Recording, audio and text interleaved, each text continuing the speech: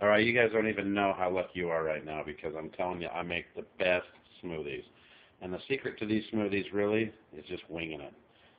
Take everything fresh, anything that you ever want in a smoothie, and go ahead and just combine all the ingredients. But I'll tell you right here, this ingredient right there, not the mango, the small print, sorbet. That is the secret to a damn good smoothie, okay? Other than that, you know, various fruits. I got blueberries, banana. I've got frozen assorted fruits, which includes peaches, strawberries, cantaloupe, pineapple, and grapes. But I'm going frozen because it really helps the mixture when it combines and keeps the drink uniform as far as how stiff and how frozen you want it to be so it doesn't get all thin and runny and, and just all over the place on you. So that being considered, I'm also going with some juice, which isn't the entire container. I'm just going with half of that. Uh, I'm going to go ahead and do the Bacardi. If you wanted to substitute, you don't have to do the rum, okay? You just don't even have to do it at all. Keep it virgin. I've got to do that for my girls all the time, okay?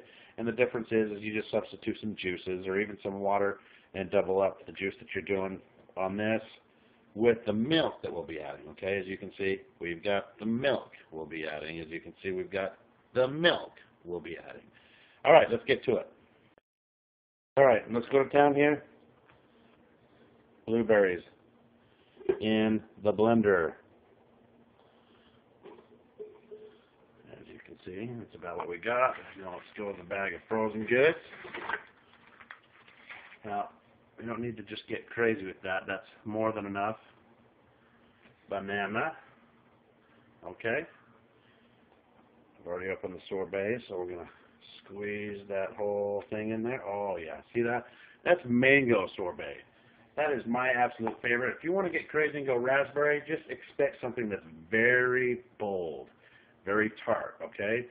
Mango just blends right in there and makes it really smooth. If it's not your favorite, cool, but raspberry's all right. Just, if you're going to go lemon even, look out.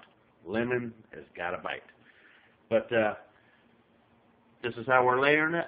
Blueberries, we got the frozen goods there. I already went over the assortment with the peaches, the strawberries, the mangoes, and pineapple. Got a fresh banana. Got uh, the mango sorbet there.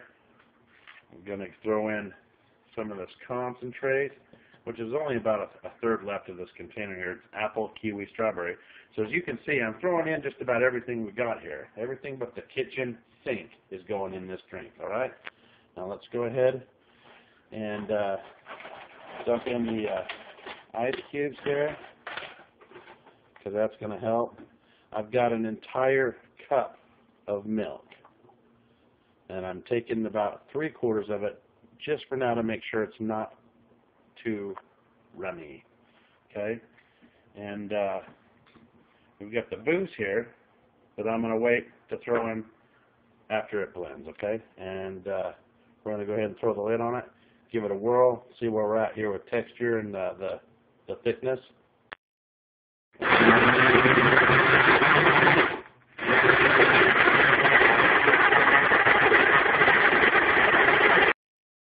Okay, got her blended. As you can see, that thickness is pretty good.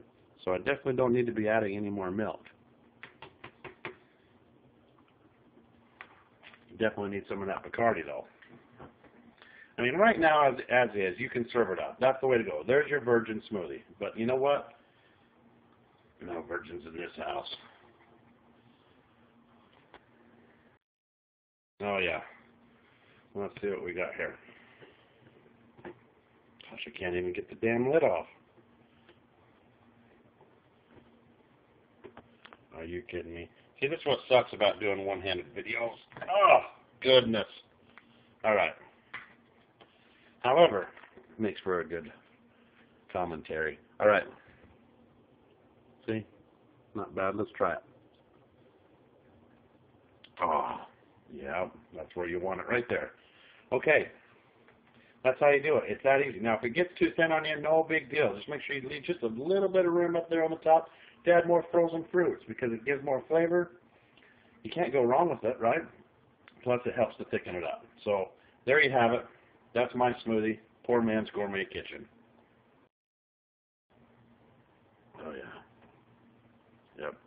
Let's try her out.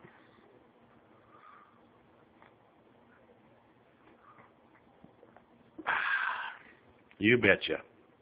That's the goods.